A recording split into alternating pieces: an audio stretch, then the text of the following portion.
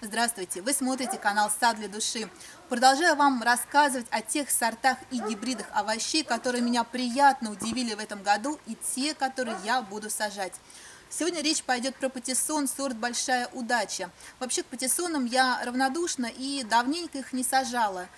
Но нужно очень следить, чтобы они не перерастали, и урожай, в принципе, с одного куста считается меньше, чем урожай кабачков. Да и если чуть упустил, чистить, конечно, их э, ну, время нужно, да, иной раз и не захочешь. Но вот этот сорт меня а, просто удивил и привлек внимание. Вот смотрите, какие даже не знаю, как сказать, в крапинку и в полосочку одновременно. Вы смотрите, насколько урожайный куст. Здесь сейчас раз, два, три, четыре, пять, шесть, шесть, семь. Семь плодов на нем, при том, что около пяти мы уже сняли. Конечно, вот эти вот а, передние, они безобразно переросшие.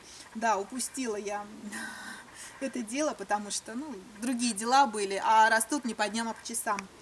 И приятным свойством, как мне сказали, я еще сама не успела, но те, кого я угощала, сказали, что при консервации не меняет цвет шкурка, что очень оригинально. Представляете, в баночке а, засолить вот такие патиссончики, а если их еще с темными или желтыми, оранжевыми кабачками сочетать, а, будет, а, такие будут радостные и приятные глазу и вкусные банки.